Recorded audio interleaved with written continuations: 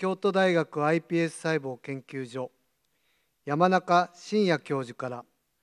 iPS 細胞進捗と今後の展望と題してお話ししていただきます。それでは山中教授ご講演よろしくお願いいたします。えー、皆様こんにちは。京都大学 iPS 細胞研究所の山中です。あの本日はあこの私たちのシンポジウムにさまざ、まな状況の中また年度末の大変お忙しい中あのお集まりいただきまして本当にありがとうございます。心より御礼申し上げます。また麻布赤坂歯科医師会の皆様におかれましては設立100周年あの誠におめでとうございます。心よりお祝いを申し上げます。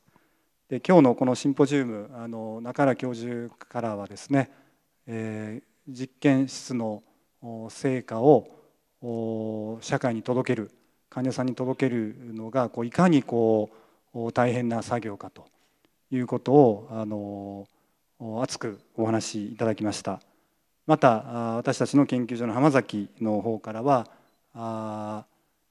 私たちもともと新型コロナウイルス感染症の研究というのは全くほとんど行っていなかったんですがやはりあのコロナ禍という人類にとっての大きな脅威に対して、え何かやりたいしなければということから始めたあの研究所の取り組みの、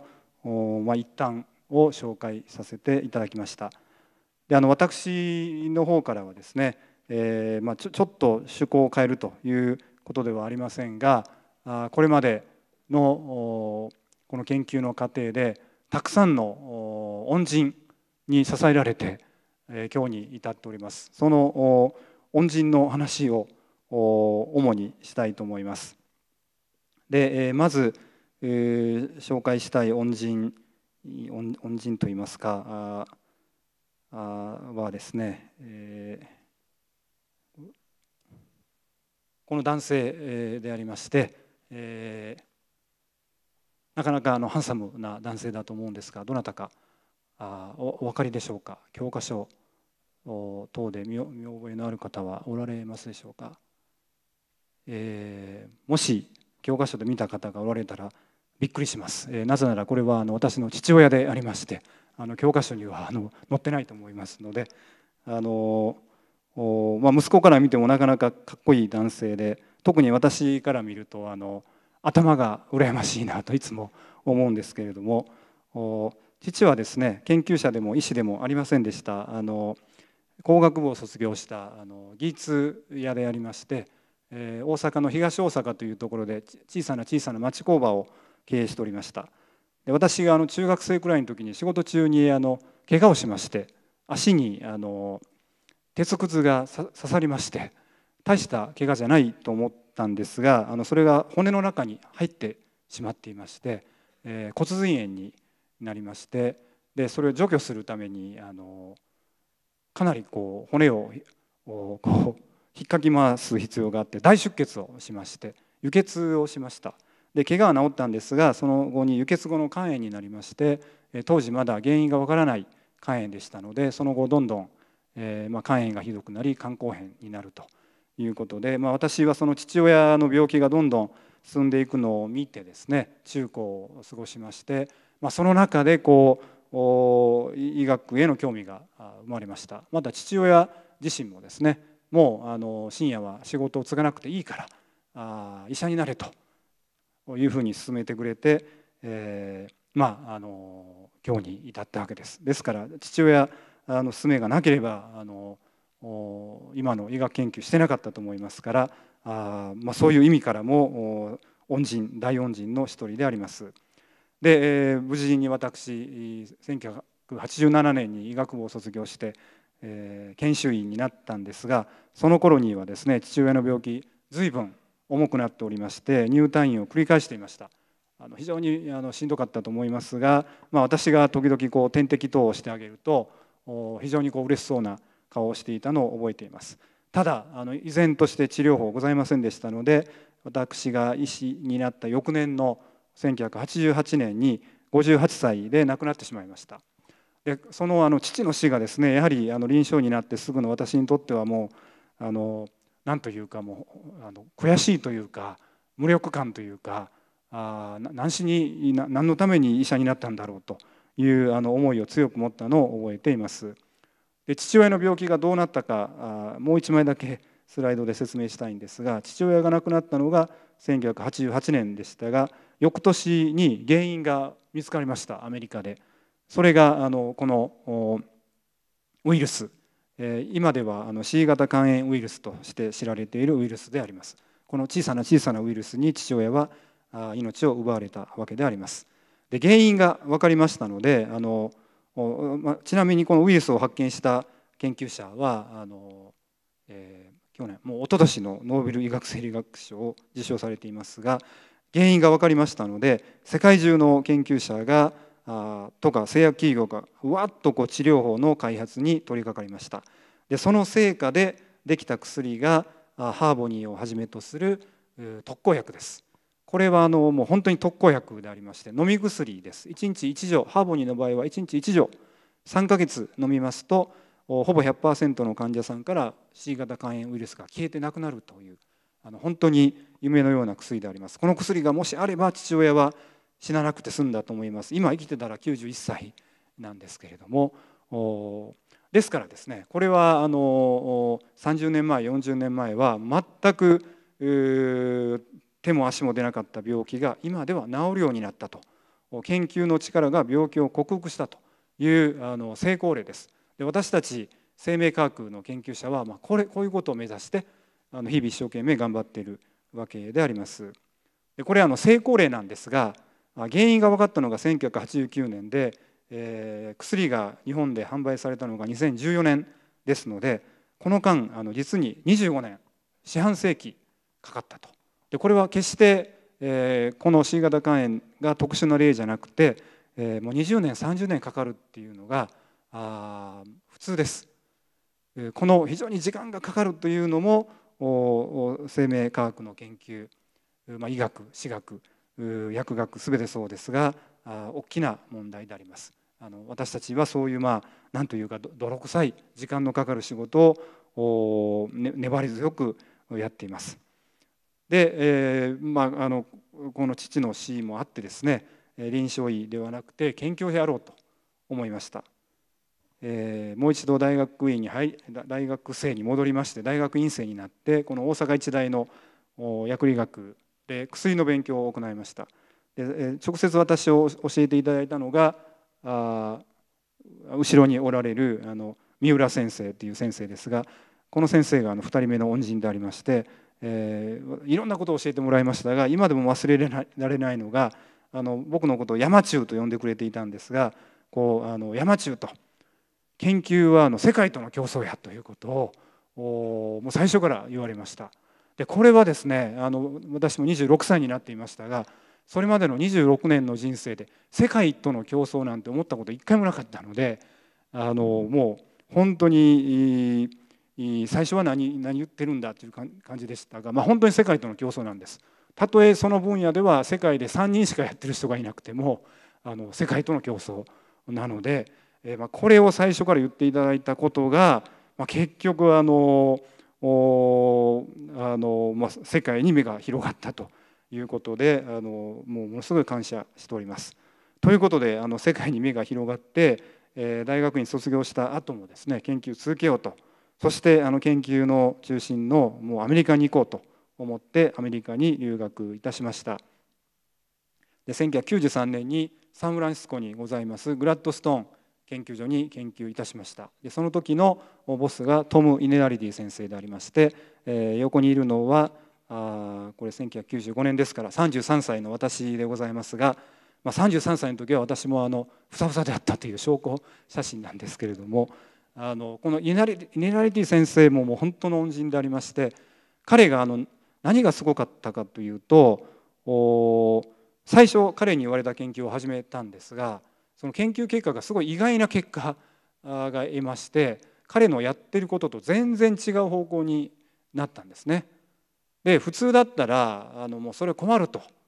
おもうやっぱり僕の研究してくれというはずなんですが稲成先生は「いや深夜とお前がやりたかったらとことんやれ」と。いうことでもう全然違う分野の研究を一人でさせてもらいました。あの給料と研究費はちゃんと出してもらって。でそれが結局あのこの後もお話しする iPS 細胞につながったんですだからあの時のですね意外な研究結果を大事にしてその研究を自由にさせてくれたこのイネラリティ先生ももう本当に感謝しております。あの僕が今逆の立場ですがそういう指導者でありたいというふうに思っています。でこの留学期間中にももう一人すごい方にお会いしました。それがあの当時の研究所長グラッドストーン研究所の今あの名誉所長をされていますロバート・マーレー先生でありまして彼があのある時私たち若い研究者を集めまして研究者として成功する秘訣を教えてあげようと。それは VW だとおっしゃいました。であのマーレー先生は当時も今もあのこのドイツの車に乗っておられてですね、まあ、それになぞられて VW とおっしゃったと思うんですがこの場合の VW はドイツの車ではなくてビジョンワークハードの V と W だと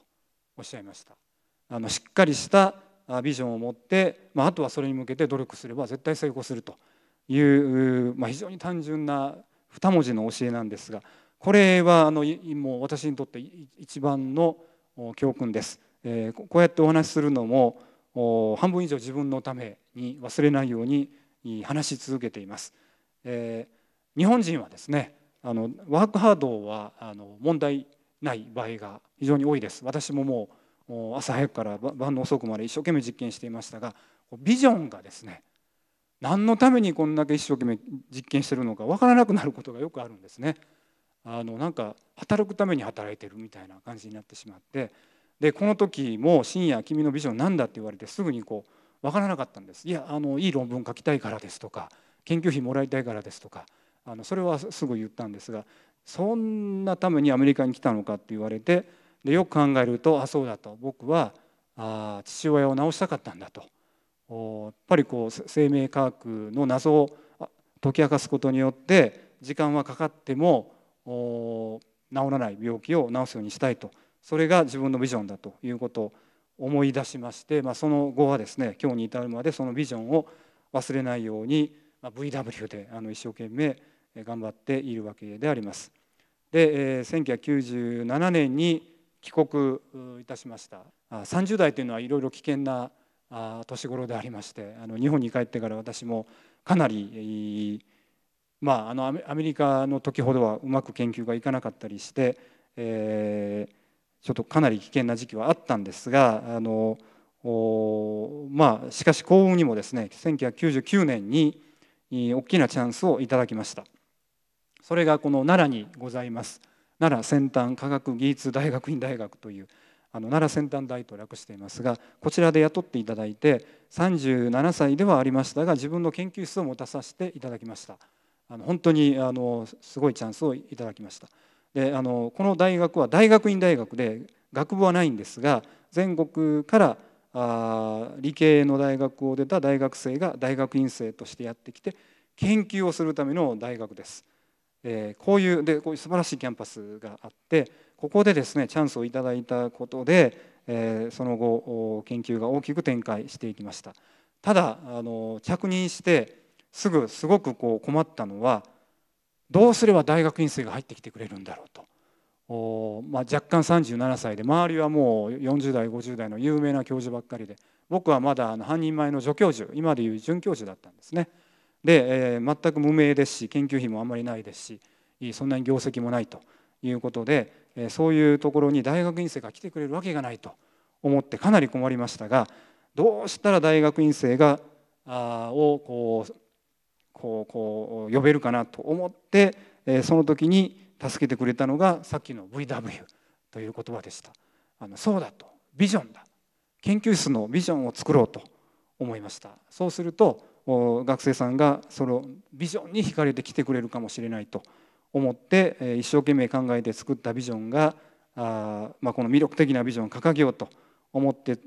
作ったビジョンが結局今の iPS につながったあのこういうビジョンでありましてえー、当時ですね ES 細胞という受精卵から作る万能細胞あのどんどん増えてで体の全ての細胞になりうる万能細胞である ES 細胞がこう登場して人間の ES 細胞があの1998年に登場してすごい注目を浴びていたんですが人間の受精卵を使うということで反対意見もいまだにたくさんあります。ですからなんとかですね受精卵を使わずにこの大人の患者さんの皮膚の細胞をこうコンピューターのハードディスクをこうリセットするようにあのリセットボタンを探してきて押してあげたら受精卵に近い状態に戻って ES 細胞と同じような万能細胞が作れるんじゃないかということであのこれを研究室のビジョンにしました。そしてあのこれとほぼ同じスライドを使って4月に入学してきた120名の学生さんにあの一生懸命こう一緒にこれやろうとアピールしたのを覚えています。ちょうど2000年の4月ですからもう22年前になるんですけれども。でただあの私も基礎研究を始めて10年ぐらい経っていましたからあのこれはあの湯はしだと。できたら確かにいいけれどももう何年かかるかわからないと。10年20年。というか一生かかってもできない可能性の方が高いということはあのよく分かっていたんですが、まあ、そういう難しいということは一切学生さんには言わずにですねこれができたらどんだけ素晴らしいかということを30分間あのとうとうと話し続けたのを覚えています。そうしますと作戦成功というわけじゃないんですがあ3名、えー、騙されてあの入ってきてくれました。あの海保さん徳澤さん高橋君という、まあ、私にとってはあ忘れることができない最初の大学大学院生でありましてあの学生さんではありますがもう本当に恩人でもあります彼らが来てくれたおかげで一人ではできなかったことがあどんどん進んでいきましたこの7先端大というのは私のように医学部出身の研究者もいますがあの工学部とか理学部とか農学部とかいろんな研究者が同じ建物で研究している横のつながりが非常にいい大学です。で、え、私もですね、えー、他のいろんな分野の教授の前で自分の研究室のビジョンこういうことやりますという話す機会がありましたで今度は相手があの専門家ですからあ正直にいやあのこれはもう非常に難しいと思いますと、まあ、難しいのを承知でやってますという話をしたんですがそうするとですね話が終わると一人の教授があの前に来てくれて山中さんというふうにあの話してくれました。それがあの島本幸先生という植物の研究の第一人者であります。で彼がですね山中さん今なんか随分こう万能細胞を作るの難しいように言ってたけど植物ってもう全身万能細胞だよと簡単だよということを言っていただきました。で僕びっくりしたんですがよく考えると本当にそうで植物って多くの植物があの挿し木とかあ接ぎ木であの増やします。あれクローンを作ってるんです。であの茎を切ると最初は何もないんですがすぐにこう白いもやもやっとしたものがこう増えてきます。これが実は万能細胞でここから新しい植物が全部生まれます。あのご存知のように日本中のソメイヨシノもうあと2週間くらいで満開になると思いますが日本中のソメイヨシノはたった1本の元の木をこう差し木で増やしたあのクローンだということが今証明されていますがだから植物にとっては体の細胞から万能細胞を作るってもう切るだけでできるという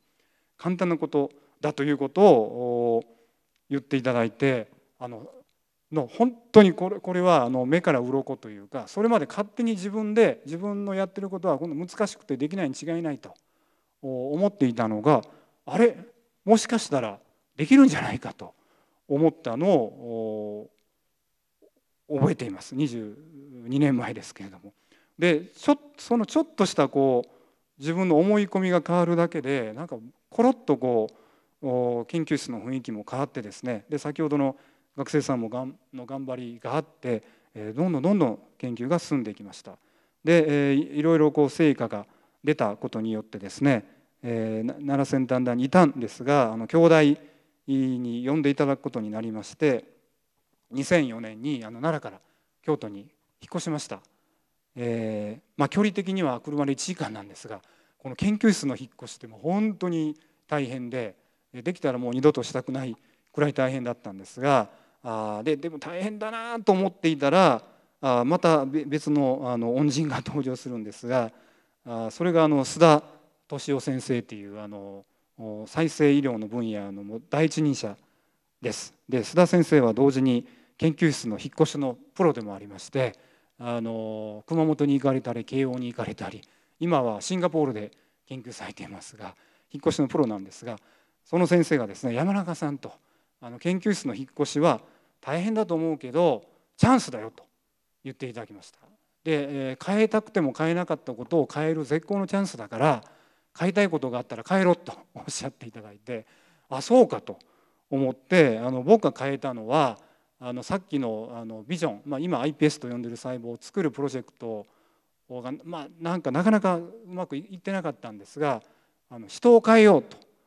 思ってあのバッター交代じゃないですけどどんな優秀なバッターでもやっぱりダメな時はダメなんですね。ピッチャーも。どんないいピッチャーでも調子悪い時はダメだ。そういう時はやっぱり変えてあげるのが一番のいい策なんですがこの時もですね非常に優秀な研究者が担当していたんですがちょっと袋小路に入っているのでもうここはあのバッター交代と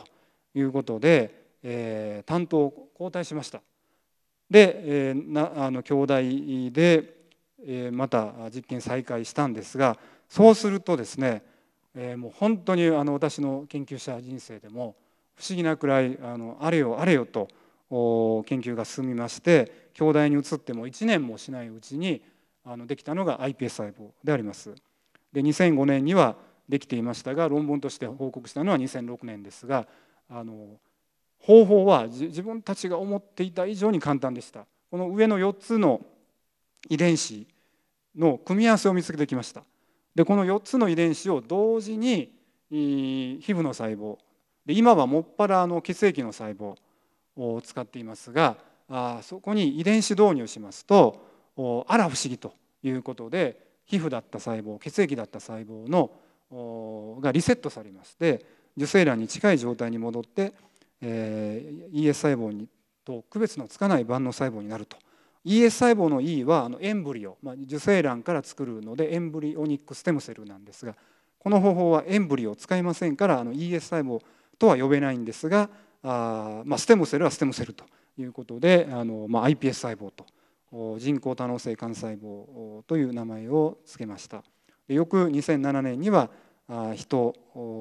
人間でも同じ方法でできると。あの遺伝子導入っていうのはあのちょっと前まであのあまり一